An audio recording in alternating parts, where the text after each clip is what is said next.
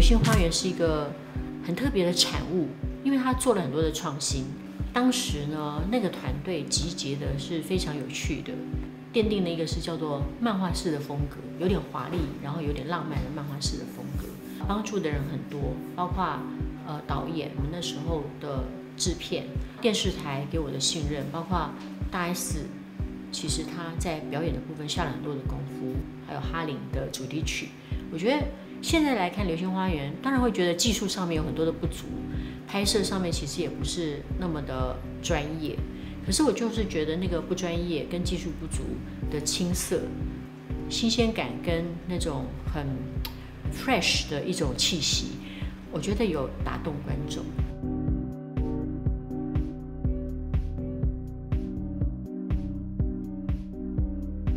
创意是最重要的，如果我们能够把一个创意做好，我觉得现在的观众不一定要看。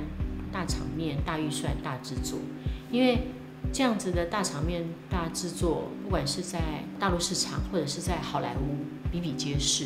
我们的确受限于环境的问题，没有办法有这样子的条件。可是我还是相信，就是说，如果没有办法买名牌，我们还是可以透过你的品味跟你的想法，能够创造出你自己的样貌。这是我个人的一个一种想法，因为沿路是的确这样子的发生过。我觉得这个是我想要做的。偶像剧的落寞，差不多是在二零零八年之后。那那整整有大概三年的时间，我的确是呃不太知道人生的方向刚该往哪边走。然后呃每做一部戏。不管好跟坏，因为市场的关系，都赔钱。所以其实说人生没有困境是假的。可是我的性格就是属于比较能够忍痛，比较不会愿意对外说，然后也不太会愿意想要把这个事情呈现出来。我的可怜也好，或者是痛苦也好，我的确比较不喜欢，因为我觉得任何行业都一样，有高潮有低潮，然后有得有失。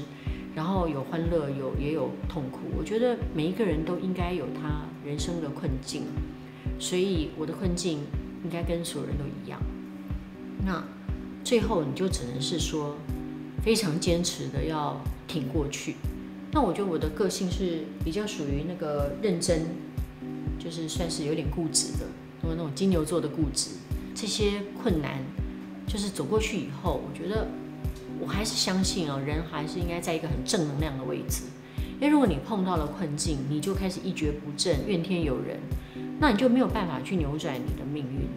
虽然我觉得我疗伤可能的时间比较长，其实我是属于碰到困难的时候，我会花很长的时间去思考，然后也要花很长的时间去疗伤，然后去反省自己到底怎么了。所以这时间比较长，可是我觉得我会抱着一个呃很正面的力量去往前走。